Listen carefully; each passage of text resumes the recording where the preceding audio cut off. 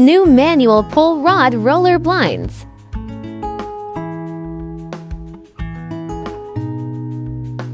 The roller blinds is controlled by pulling the pull rod.